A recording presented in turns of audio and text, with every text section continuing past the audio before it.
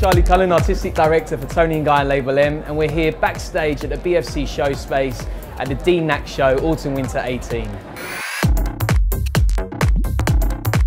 So the inspiration with the hair today, you know, what we always try to do is to complement the hair. As obviously, we know the hair is the biggest fashion accessory. So with the clothing, it's a mix of traditional Korean sort of wear mixed in with a slight urban edge. So we work with a strong classic silhouette where the hair slicked back away from the face, but I suppose gave it that sort of contemporary edge by using more wetter products and comb marks to comb either away from the face on long hair, also forward on short hair.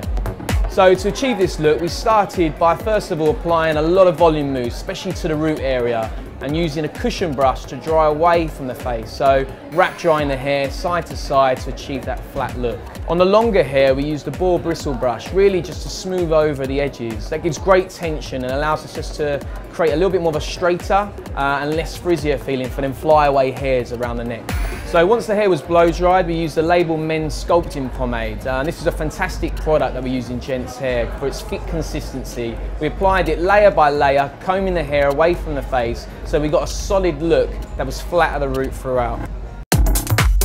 Uh, and to finish the look, we sprayed through quite a lot of Label M Fashion Edition wax spray. Again, using that backwash comb to really give that sort of comb marks that you can see right through the roots all the way in towards that nape area. Uh, we used a lot of this product and it was reapplied in a lineup to make sure as the models walked, it stayed wet. I think it's quite refreshing to be working with a wet texture. We've seen for quite a while now that actually we've embraced that individuality.